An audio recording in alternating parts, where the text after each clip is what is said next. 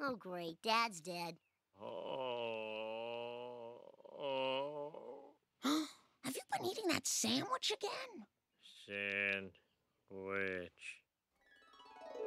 Jeez, we hardly made a dent in that 10 foot hoagie. Oh, give it a good hope. Mm. You've been eating that thing for a week. I think the mayonnaise is starting to turn. Two more feet, and I can fit it in the fridge. Homer, I found this behind the radiator. I really think you should throw it away. Suggestion noted. Marge, I'd like to be alone with the sandwich for a moment. Are you going to eat it? Yes. Oh.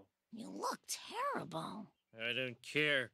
I'm going to Duff Gardens.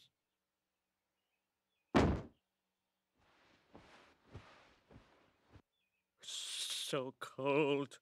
Your lips are turning blue. I think you better stay home. No! Duff Gardens!